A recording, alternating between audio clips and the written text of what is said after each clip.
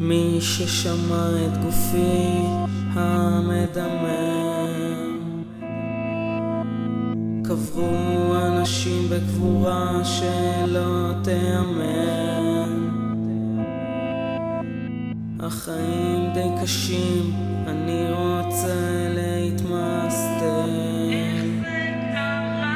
להרוס רגעים שאהבנו רק לרחם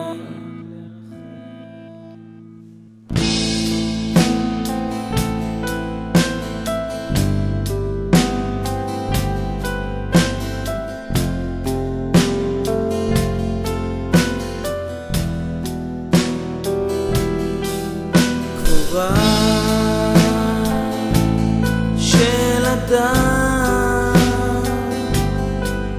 שהוא חף מפשע להרוג אנשים במילים כמו נמלים. יושב